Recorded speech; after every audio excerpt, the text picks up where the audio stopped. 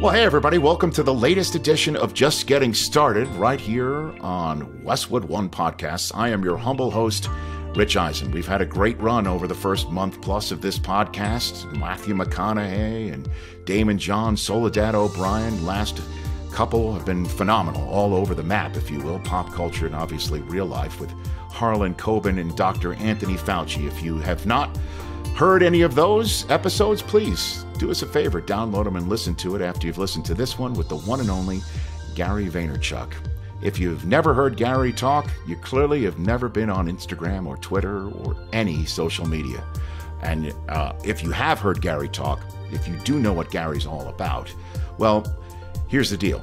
You're going to learn a lot about yourself. You're going to learn a lot about what we are trying to accomplish here together, you and I, on this podcast, Just Getting Started, about figuring your way through life that has been turned maybe upside down over the last year, figuring out a way to follow your dreams, figuring out a way to put aside any concerns you have over trying something new or even, yes, succeeding at it. This is right in Gary Vaynerchuk's wheelhouse. He is an entrepreneur he is somebody who has been all over as an angel investor in pretty much every company you've ever heard of. He owns his own media company, he owns his own sports agency, his own wine company. I could go on and on.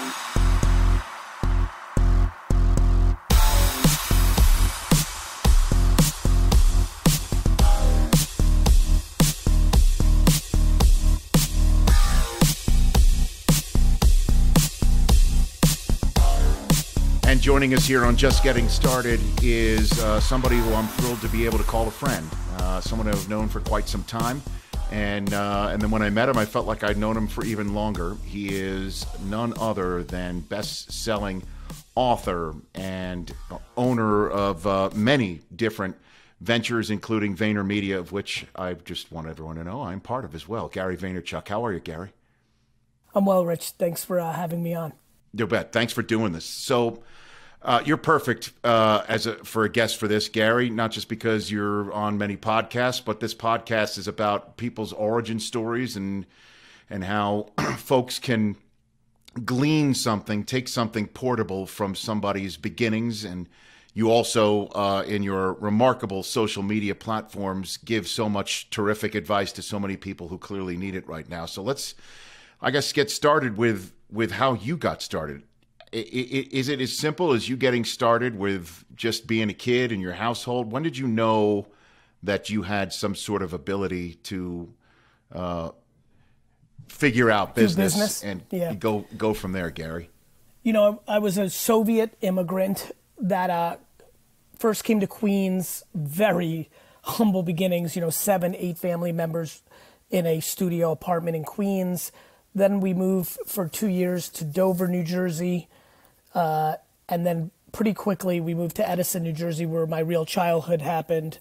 Very quickly, in the first couple of months of being in Edison, New Jersey, I became a Jets fan. Nice. Uh, within the first year of being in Edison, New Jersey, that first summer, because I moved in very, very late August, right before my first grade school year, and by that first grade summer, so call it nine months later, eight months later, I was very active that first in between first to second grade summer, which just seems crazy. My my little guy's in second grade, but, you know, I was very real about lemonade stands. I was very real about, you know, ring. I mean, I mean, I was really out there. I would find like a T-shirt or like a pen in my parents' house and literally go outside. You know, I'm an '80s baby, so just walking out of the house at 3:30 in the afternoon after finding something in the living room or in a drawer and then just ringing people's doorbells in the neighborhood seemed very normal. You know, by today's standards, kids aren't allowed to go outside. So, yes. you know, um, uh, I I definitely did things six, seven, eight, nine. Sh- you know, snowstorm comes, shovel snow for five bucks or a dollar or a quarter. Um, wash cars, which I don't think is a very super common kid thing, but like literally hose buckets you know, soap, ding dong, can we get three bucks to wash your car? I did a lot of that. And then probably by nine, ten, 10, 10, 80, 1985. Probably Gi- Giants won the Super Bowl in 86. 11, uh, 86, uh, 11 is when I probably was like, I'm a business man or kid. Really? Like, uh, yeah, because 86, Giants winning the Super Bowl, I remember Who- uh, that right the, off the tip, Yeah, off Phil Bavaro's. McConkey, Yeah, yeah. Oh, sure, I remember that. I remember that play very vividly because I remember drawing a version of it in study hall the next day, that Monday, and trying to sell that picture for 50 cents.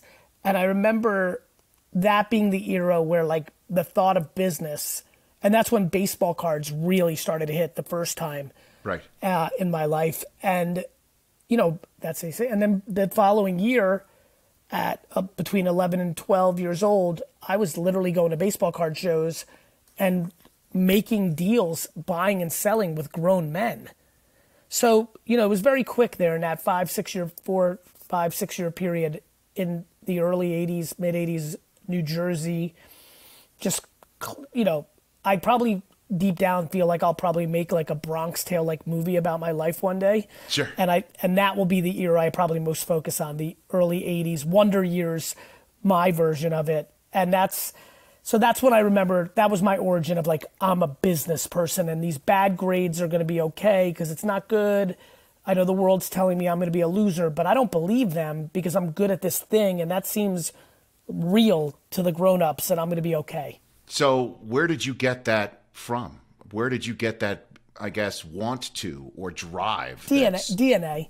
You know, I think you know my father's an entrepreneur. My both my grandfathers spent time in jail in Russia. You know, very cliche, very common to be Jewish in the Soviet Union and find yourself in jail because the whole country was run by the black market. Anti-Semitism was ingrained in Eastern European culture um, and this was post you know my grandfathers were rolling the streets post world war ii were a lot of blame. And so you know they were very entrepreneurial. You know i heard stories from uncles and people that came from the old country. And so dna it's not like i read a book or had Right. or watched a gary vee video on instagram you know. This was just like my chemicals like no different than i'm sure somebody picking up a basketball or or picking up a microphone and singing or just starting to draw i yearned for the idea of hard manual labor i, I liked work I, I still to this day feel that i probably slightly overwork i mean even right now right it's 10 p.m on the east hmm. coast when I i'm recording this that. with you Yes. you know, I admire you and like you and want to really support this project, but it's just still in me at this point that work ethic is a variable. I, I've gone away from a lot of my early content talking about the variables of hard work because I called it hustle. I think hustle in modern times, the last two, three years, has been manipulated into meaning something negative, which is overworking yourself and getting anxious. And so I've tried to be more thoughtful of using the word work ethic. But to this day, I struggle in in thinking about how one achieves things that they want to achieve without a real commitment to work ethic. I do think it's a lot easier when you love it Right. Um, but I, you know, I, I definitely have always felt my chemicals make me want to put in that work. and it's obviously very difficult to manufacture that but there are some people out there and again I, I i'm a follower of everything that you say like so many other millions of people gary and i do see that you know you do give very unvarnished uh, advice to people who are wondering how do they get to where you are. Again, that you're a kid from New Jersey who did have something born in, you, but it does seem like that there is some sort of uh, brainwave that you have that people feel they can tap into. Is is there something There to is that, some- Gary? Do you I, think or no? I, I do, which feels weird to say I do.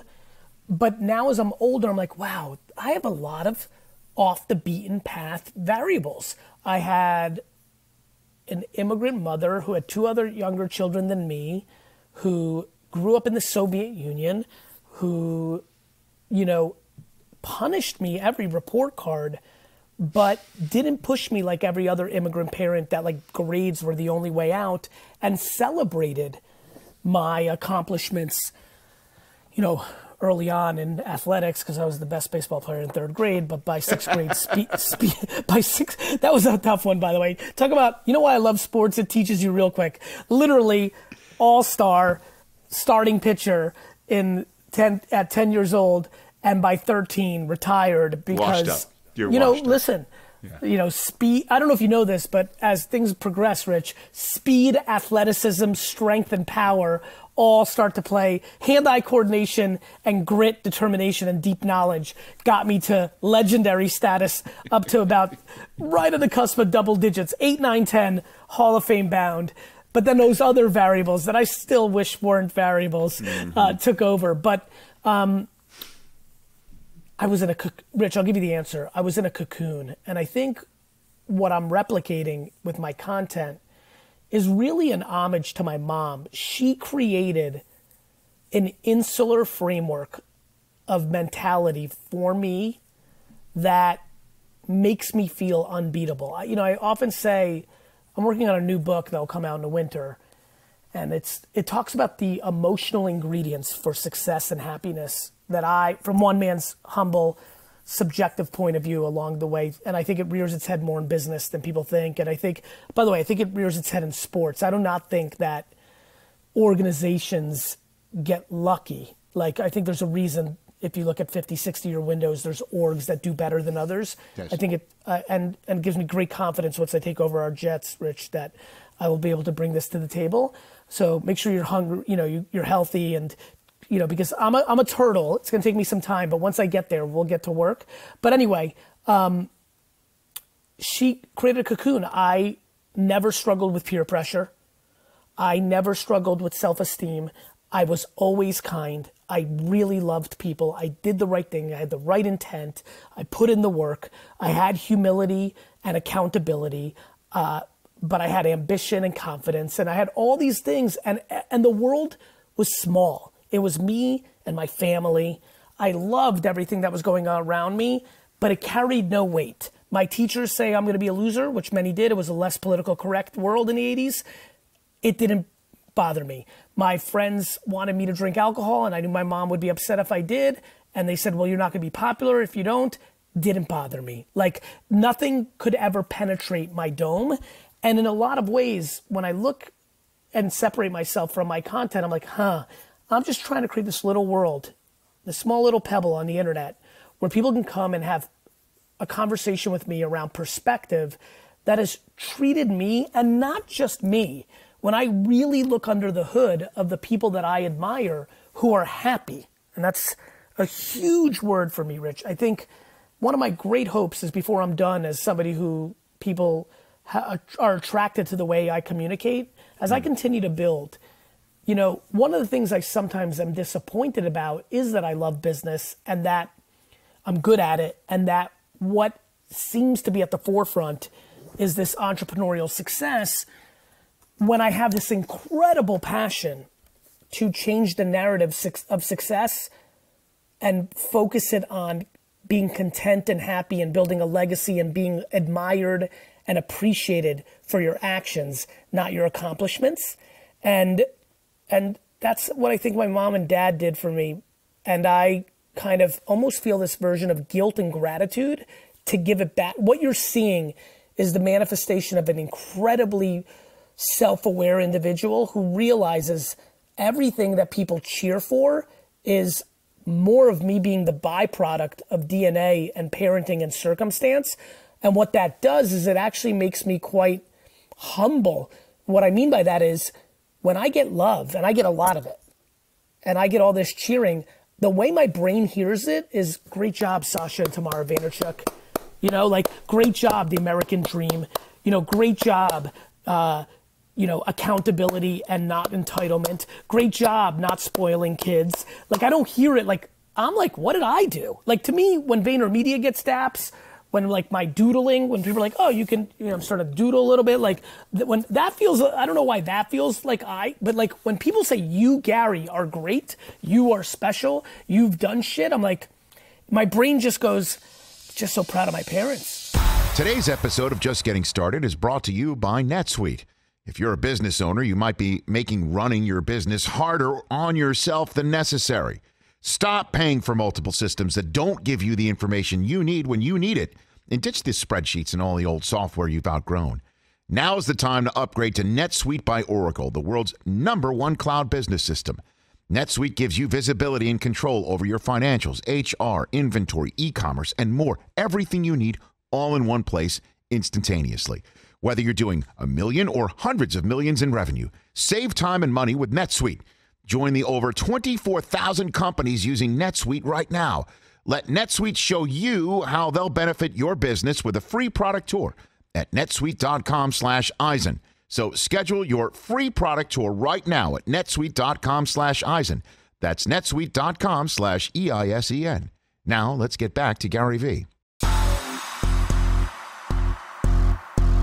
I hear you too, Gary, you know, because I, I I think of my folks quite a bit whenever I'm doing something, you know, um, on TV or succeeding. And I don't like, you know, smelling my own shit, to be honest with you. You know what I mean? Like, it, it you, you can really get bogged down in that sort of stuff. And, and, and, the one thing I'll, I'll, share with you, Gary, you know, when I remember when we first met, I met, you know, with you and your mm-hmm. brother and um, Reed Bergman, who's been mm-hmm. my guy for a long time and is now part of your yep. VaynerMedia world. And this was at the draft in Dallas, and we had breakfast.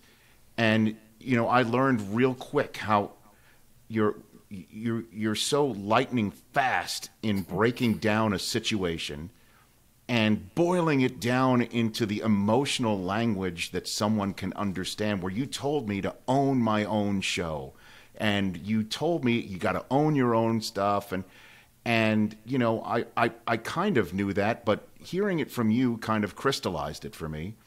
And the thing that really hit me is you told you like you, you know you got kids you got a mortgage. It, it'll take some guts for you to basically just you know stop doing what you're doing you know all all you guys mm-hmm. on tv you know you got your contracts and but you got your mortgage it's going to take some tough. I don't i don't expect you to do it. Like but you kind of talked my language like right on the spot.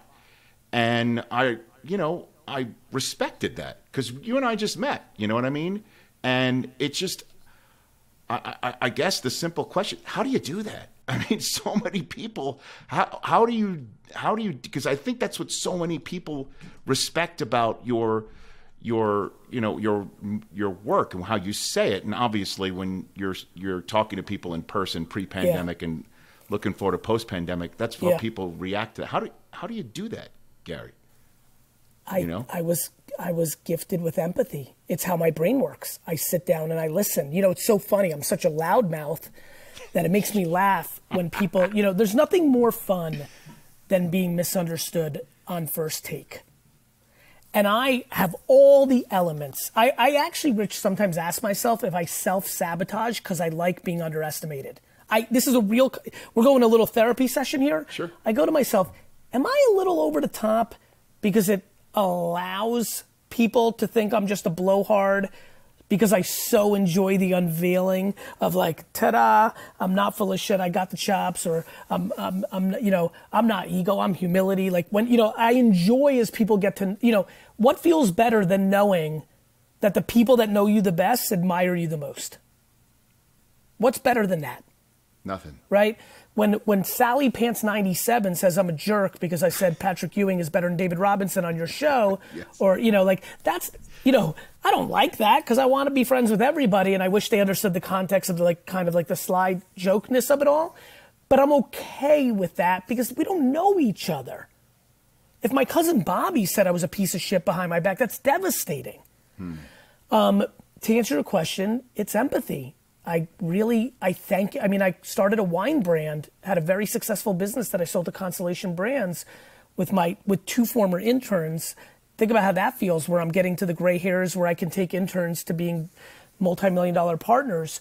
You know, um, I named that, you know, my life's work was the wine brand. I called it empathy because I realized, and I really appreciate you telling that story and the way you asked that question, the authenticity behind it it's a fucking gift. I'm, I, I, I'm so grateful for it. It's so nice. Uh, It feels nice to me. I'm like, thank God. Like, I meet a person and immediately my brain goes into what can I do for that person? How can I help that person? You know, let me listen to that person. And, you know, it makes people laugh sometimes when I go on podcasts and go a little deeper. They're like, this fucking guy, you don't listen. Because on my own podcast and even on yours, I interrupt. I'm fat, you know, my brain it breaks a little bit. I go too fast. I get too excited. I'm always anxious about running out of time. I enjoy it. I like banter more than interview. I like, you know, like, like the like hanging with your boys at dinner, you know, yelling about is Spud Webb better than Muggsy Bogues. That's my jam. So it doesn't always play in a podcast where you're supposed to play a little bit back and forth. So people think I interrupt and I don't listen. What they don't realize is I listen so much that I don't even need the per. This is so unreal to say. and I've never really said this this blatantly. I don't even need people to talk, Rich. I believe in psychics and all sorts of weird shit. Yeah. Not because I believe in it, actually, because I kind of like don't, but I have to believe in it because I almost know what somebody's going to say almost every time. Like, I already know. If I'm uh. in it with them, I'm like, I know, I know. And that's why I'll go and I appreciate, I, man, I love you. You're right. I remember it now too, very vividly. I go to people talk baloney like Rich, you can do it, you're gonna make millions. I go into Rich, you have a guaranteed salary that I'm sure you and your wife and kids you're living your lifestyle. Like I'm empathetic. I'm not, you know, and so I get very practical, but I'm also ambitious and optimistic. So that level of practicality along with ambition and optimism is a very unique juxtaposition of pulling at opposite sides, which creates a little bit of a different variable. And then you've got a highly intoxicating communicator spitting it, and it creates this different kind of enigma. And it's it is something that is you know I'm I'm hoping people will hear this and can take it in and maybe use it in their lives too. Um, and that's that that's what I want. Let- Let's talk about that for a second, Rich, because I want to do that too, instead of just like, who are you, get right? So, one thing that I definitely was portraying, I'm sure, in that meeting, because now I'm really recalling it pretty well too. I also like thinking about downside. So let's help everybody here, Rich. When someone's 22 years old, they're like, hey, I want to become an ESPN announcer, or I want to be, be on Barstool, or I want to start Facebook, or I want to whatever and you got 70% of people under 18 wanting to be an influencer or YouTuber at this point, which is self employment around your own personality. One thing I remind people is that's exactly what you should be doing at 21 to 27. Yet your parents and the world and the system is telling you to get a job and now it's time to grow up. Meanwhile, you know this, Rich, both you and I are old enough now. We're still youngsters, thank God, but we're, we're enough in our lives that realize, you know, 21 to 27 is a good time to do risky behavior. You don't have kids. You're most likely not married. If you really have a big ass dream, you are willing to sleep on your buddy's couch with six other people and living like fucking pigs. Your body is more capable of eating dog shit food for 50 cents a meal. It's actually logical to be high risk, high reward, see the world if you're hip deed out or if you're curious or you're a photographer, want to see everything. Start two companies, try to become, you know, the next Rich Eisen or the next Mark Zuckerberg or Sara Blakely. And the whole world tells you at 22, you just went from being a complete belligerent maniac in college to hard turn, be a fucking responsible grown. It's crazy. And then there's another layer, which is there's a lot of parents who want to subsidize their kids post college financially, which leads to a very unhealthy res- resentment and like wild. I mean, one of the scariest things to me, Rich, is parents paying for kids at 22 and beyond. For both parties, parents have underlying resentment if you really poke and prod, and kids start to feel like they can't do it without their parents' help and they become entitled.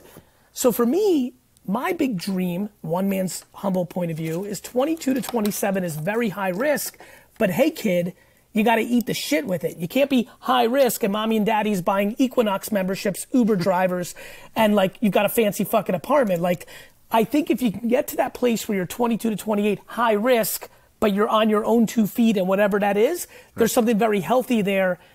Those, you know, so that's that's a version of what we talked about, which is like truth, practicality, and looking at a situation slightly different than the conventional wisdom right now, which also is what leads me into not being a fan of college for everyone and not being a fan of college for a lot of people.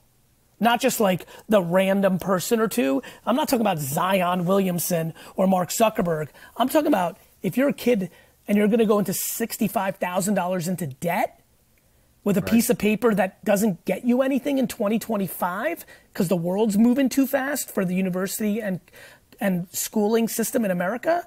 These are new conversations that we have to have. We have kids right now who are playing video games at 12 and 13 who should be playing more video games, not less, because they can become professionals. Yes.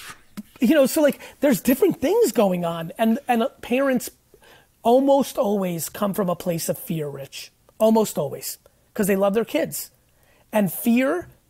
And I'm going to use Rich Eisen terms here. Fear is mm. prevent defense, and I don't like prevent defense, Rich.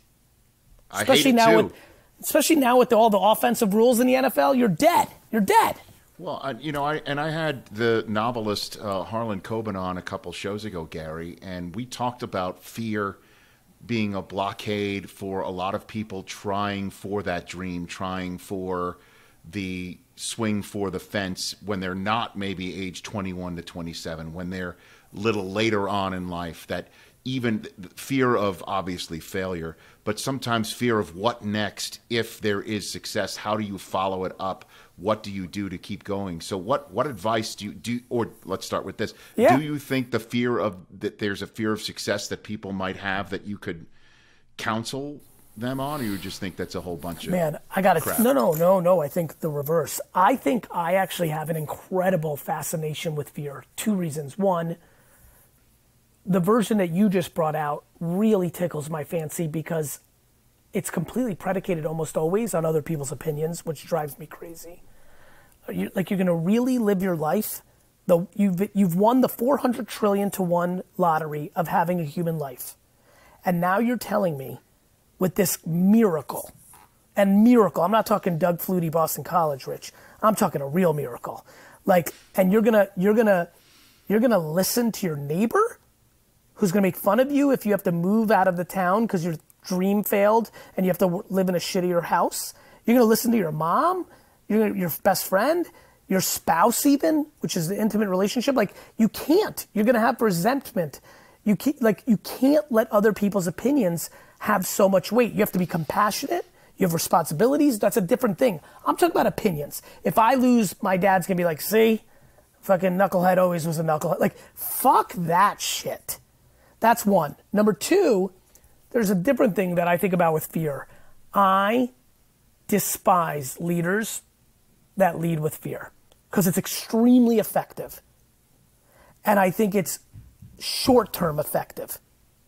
And so when I think about coaches, political leaders, and a whole lot of where I see it, businesses, mm-hmm. where the boss or the manager or the owner leads with fear.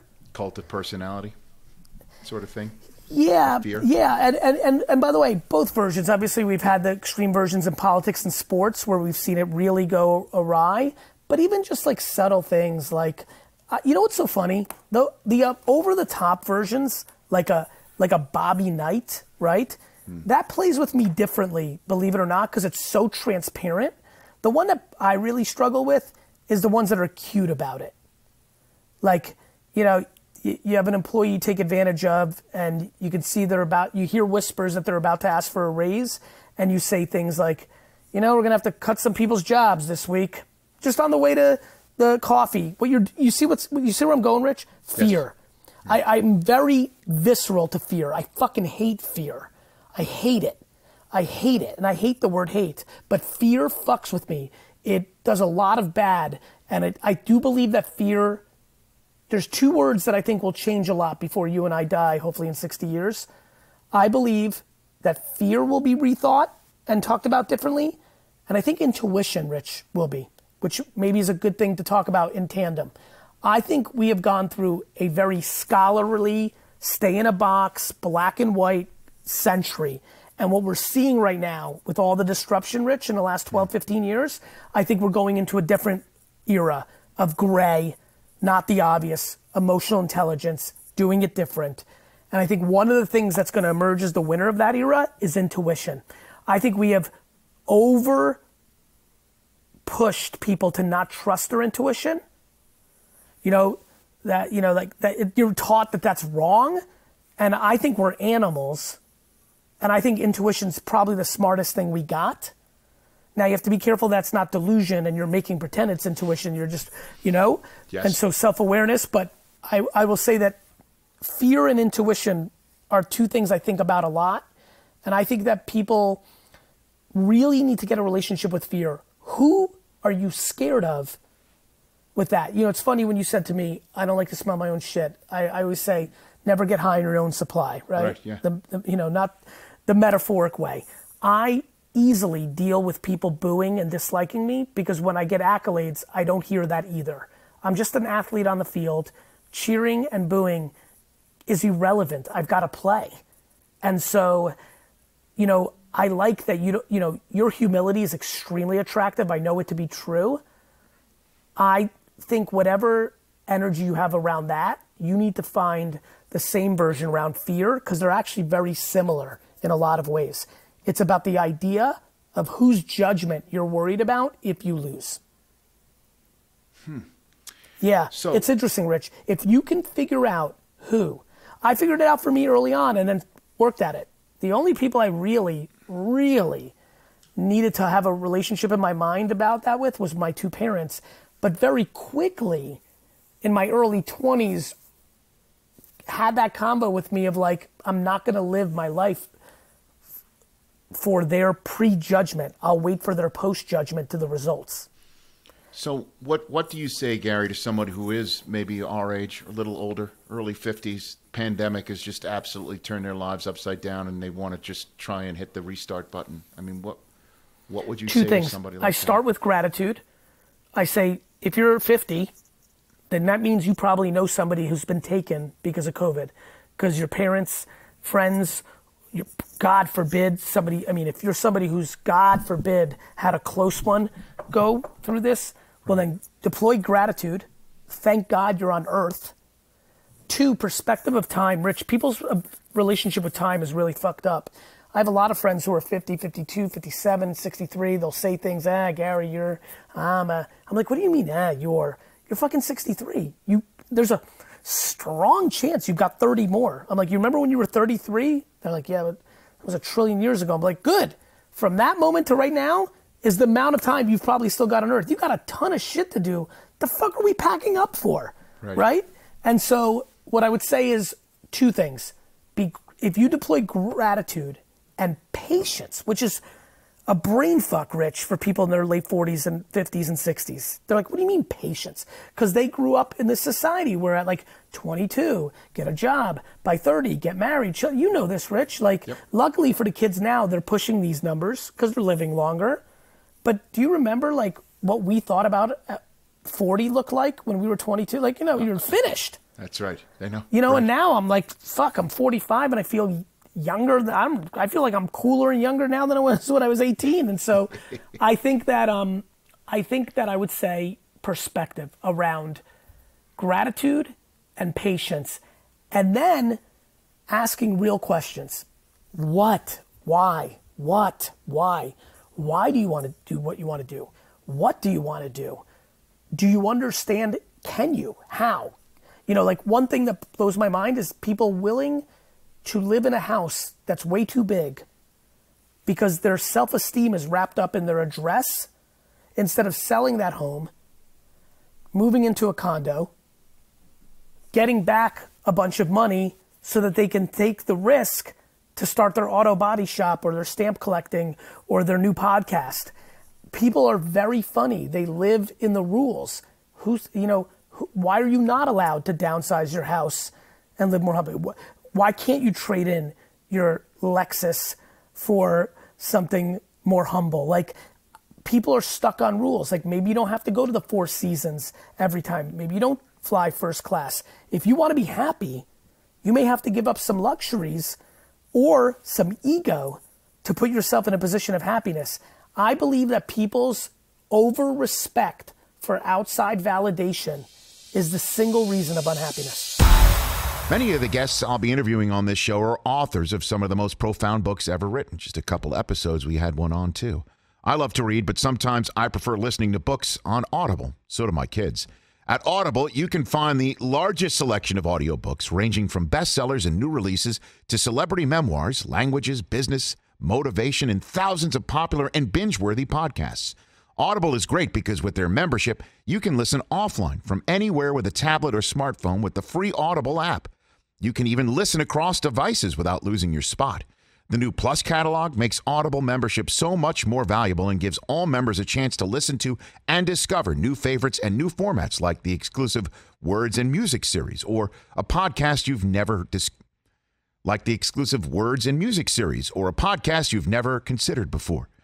To get started, visit audible.com slash Eisen or text E-I-S-E-N to 500 500. My wife might actually do that. Again, we love listening to books on Audible in the Eisen household. I think we can all agree that running to the store has been pretty stressful lately. And there's nothing worse than forgetting something on your list and needing to make multiple trips.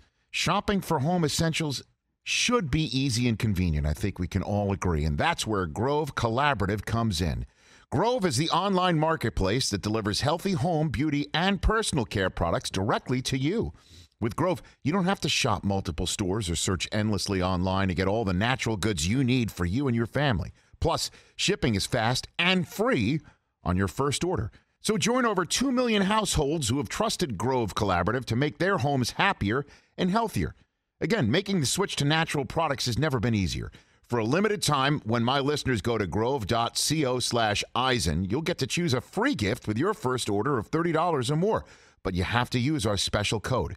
Go to grove.co slash Eisen to get your exclusive offer. That's grove.co slash Eisen. Now back to my conversation with Gary Vaynerchuk. So, in the few minutes I have left with you, Gary Vaynerchuk, let's talk about the next big thing that you you see. Uh, I put a video out um, on my Twitter feed a few days ago. Your appearance in April of 2019 on my show and uh, I, I, I put in the copy of the tweet. It's like a Ruthian called shot about trading cards, sports sports trading cards. That you're like, it's it's going to come back, and the the reason why you said was that the the sneaker trading market has only a certain amount of inventory. It's not only and you know there's more cards and there are people our age that will miss that and there's a nostalgic aspect to it and also gambling exactly. technology the, the, internet so you saw that thing and, and and you did say at the end of uh, at the end of the segment that you wanted to put it out there on my show which i always appreciate so you could look back three years from now and say you were right and we're looking back barely barely less than two years and you're right so what do you see right now is the next big thing yeah. NFTs. It is. Yeah, it is. And I know people have, you know, people have probably at this point heard it once or twice. You probably heard about Beeple's art selling for $69 million at, at Christie's. Let me tell you why, and let me explain it in a way that I think can help a lot of people who are listening. The macro technology, Rich, is game changing. It's super game changing. Uh, non fungible token, the digital tokenization of something that proves who bought it. People always struggle with that. They're like, wait a minute, why do I want to buy a JPEG? I'm like, the same reason your kids are buying $100 worth of Fortnite skins, the same reason 2K and Madden are selling virtual packs to upgrade the players, the same reason that people want a blue check on Twitter and Instagram to be verified. It's called social currency. It has always existed, it will always exist. And as we become more digital, I predict you know, I remember making this prediction with my friends back in the day, and I think it was 1997. I've been saying it's 1999, but we were already, we were actually still in school. So it was 97, actually, now that I look back, maybe 98. And I said, guys, I think everyone's going to online date. And my friends made fun of me, Rich, like you could not believe. Because at that point, online dating was reserved for a 400 pound guy in his mom's basement, creepy. He might kidnap you. It was very off the reservation.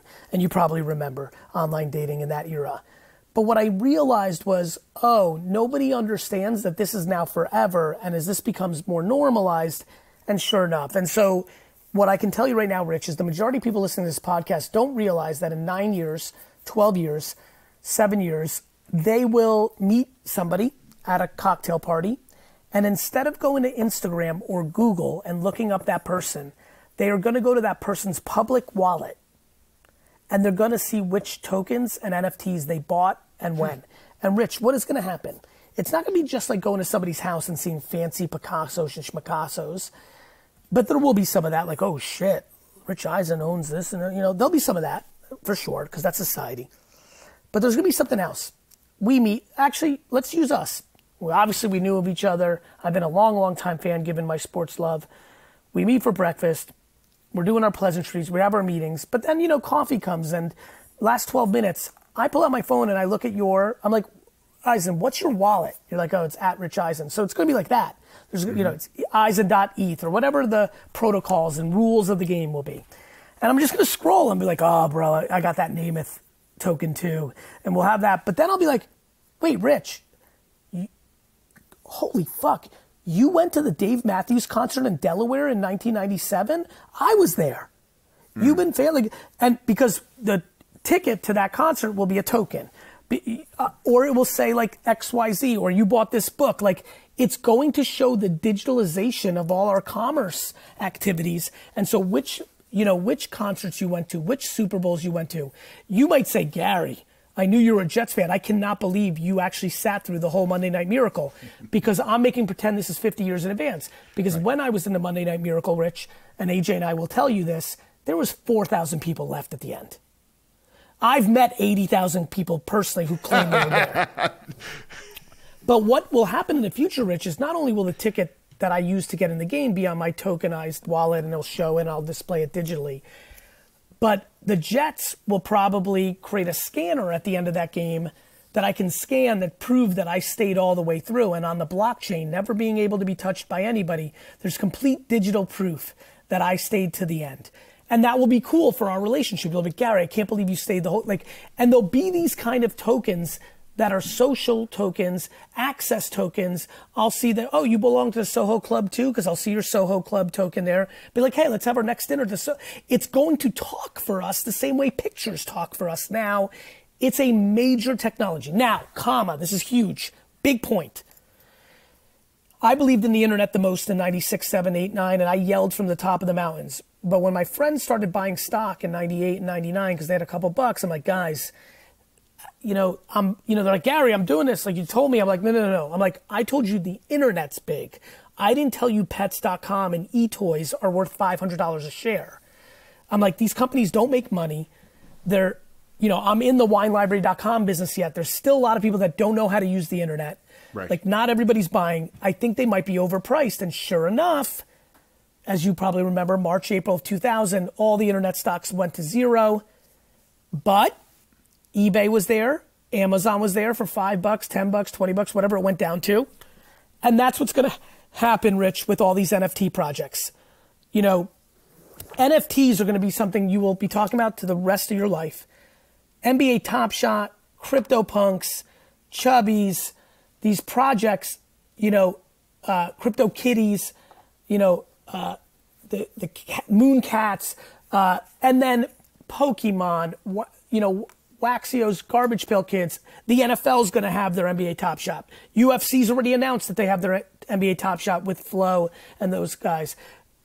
The, the, the NHL, uh, soccer, and then the human individuals. We've already seen it from Gronkowski and Patrick Mahomes. Like, I, listen, even though he's a Pat, he, at this point he's a Buccaneer.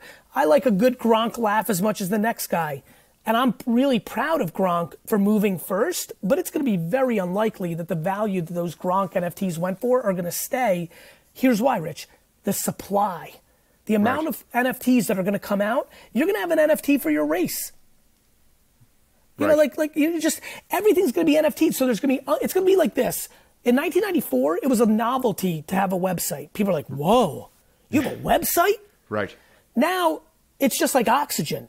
The same thing will happen with NFTs. Everything will have NFTs in 20 years. The key now is to not get too caught up in the gold rush, the beanie baby moment, and just start investing in shit. A lot of it will go down. I believe CryptoPunks, since it was the first NFT project on Ethereum, it's got this legendary status. I think that one goes crazy long term. But do I think over a big correction in a year or two or six months that that could even drag down? It could, and then bounce back up like Amazon. So that's the macro of it. And when it all comes down to it, though, I think some many people are kind of turned off by it because they don't think they can afford it. You know, the prices that Yeah, you're me- hearing, me- they're, they're yeah, me- astronomical. meanwhile, meanwhile, yes, you're every, but everyone's looking at very small things. That's like saying, well, I can't be an influencer because Charli D'Amelio has 100 million TikTokers. Well, of course you can. 80,000 followers on your honey business could be meaningful. Right. You can't buy a Beeple for 69 million, but I'm just looking right now. I, I want to actually give him a shout out. I'm just about to buy one from from Buddha Ben. I'm literally doing it right now. Literally, he, like I'm about to buy. It's 0.001 ETH. It's like f- nothing. It's like a couple. It's a hundred dollars, if that. Like like you know, there's gonna be there's gonna be plenty of bargains. The problem is right this second, as of recording, 99% of things are gonna be overpriced because we're in that early. The beanie baby stage, as you say. Gary, you're the man. Love Mm-hmm. Thank you, you, bud. brother. I really, you uh, no, I do consider you, uh, you know, and honestly, just going back full circle to that conversation we had in Dallas. I, I, you know, I'm always honest with with my uh, listeners, viewers, guests as well. Literally ten minutes after you were telling me about, you know, I've got a mortgage and I've got kids, and you know, people like me don't usually take this risk, but you should. I really was sitting there and said, who the hell does this guy think he is? And then by the end of by the end of breakfast, I was like, okay. And then I'm going to my car and I'm like, wait a minute, this actually was not only made sense, but I appreciated the way you actually put it. And then obviously in the in the ensuing years, I thought to myself, that is like gold. You know what to get advice from you. Uh, I know there's many people in my industry for sure that that reach out to you for it, and Thank you. so many other people do. So for you to actually you know come on this pod and help uh, help me brand it and give those two cents to people who need it, I really appreciate it, Gary. Really. I adore you. You're a class act. Thank you for having me. Right back at you. That's Gary Vaynerchuk right here on Just Getting Started. Yes, sir. That's Gary Vaynerchuk right here on this pod. And when he said that age 21 to age 27 is the sweet spot to try something new and go for it and risk it because you will sleep on a friend's couch. You can go somewhere and follow a dream and try your best to make ends meet, but you also don't have the things that you might have in real life. I don't want to say weighing you down since I am somebody with kids and a wife and a mortgage, but I think you understand what I'm saying is that when you are free of responsibility to others and also maybe a bank that's loaned you money, if you're free from those responsibilities, go for it. That's why I also wanted to ask about uh, an older age group in their 40s and 50s and 60s. If somebody has to try something new, just get started on something new, his advice for that. But when I was age 21 through 27, that's when I, I went for it. I mean, I told a story earlier um, in in the uh, podcast previous episodes about having an epiphany behind the wheel of a car chasing an ambulance, literally chasing an ambulance while on a uh, filling in for a reporter on the police beat for my local newspaper, the Staten Island Advance, or as we said in Staten Island, the Advance, putting the syllable on the the accent on the first syllable. But um, I, I had an epiphany there, and I was age 21 through 24. I just said, you know what, screw it, I'm gonna go for it here. And I went back to graduate school. I got deeper into debt, which is another thing that Gary talked about. That you know, college might not be uh, proper for some because getting so deep into debt to go to college might not be the right path for people. But I, I, you know, took more student loans out, and I was still having to pay off student loans to my, you know, the University of Michigan.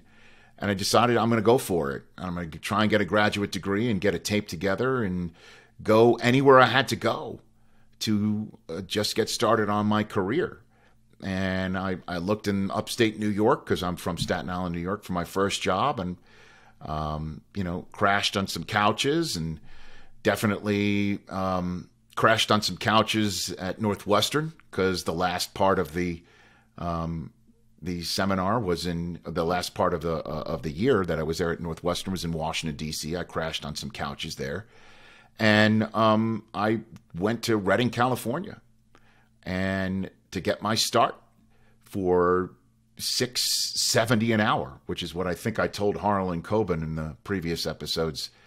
That that's what my hourly wage was 670 675 an hour and um, went to Redding, California, got my start there, and it was a total out of body experience. I'm from Staten Island, New York, the home uh, of the world's largest landfill that's now been closed. So the mountains I grew up around were made of garbage, literally. And now here I am in Redding, California, surrounded by actual mountains. If anybody's ever seen the TV show Northern Exposure, you know, with the Jewish guy in the forest, um, that was me um, in in Redding, California, and I just went for it. I went there. I wasn't making much money. I certainly wasn't being able to pay off my student loans very well, but I just rolled the dice and I just said, you know what? I'm just going to go for it. I'm going to go to a spot where I feel like a fish out of water and try and make myself the the biggest fish in that pond and send a tape to a headhunter cost me first class postage that's all it cost sent it to a, a, a three news and sports um, television news and television sports headhunters and espn found my tape and the rest is literally history so when gary's like you know when you're 21 you're 27 if you're somebody who who doesn't have um, much uh, on the responsibility scale for yourself, go for it. I totally agree with Gary. That's what I did. And I want to thank everybody for listening to this edition of Just Getting Started right here on Westwood One. We'll see you next week.